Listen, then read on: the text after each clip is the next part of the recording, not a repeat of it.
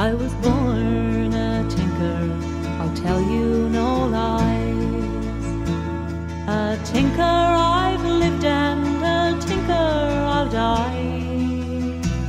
Now don't get me wrong, boys, I carry no shame. The Lord made me a tinker, and I'm proud of my name. My father grew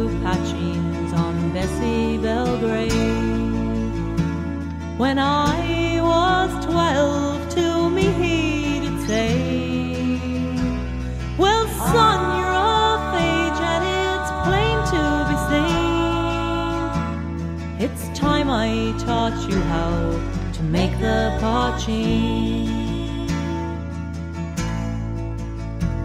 Well, he taught me the trade and I learned it quite well. I made the finest potcheen any tinker could sell. And I used the same still that my dad used before. Why, it's been in our family a hundred years or more. I sold my potcheen boys from Kerry from Donegal to Dublin and around by Mayo. Through the 32 counties, I'm free to roam. Why, the potcheen's my living, the roadside's my home. I married a tinker, a Colleen so fair.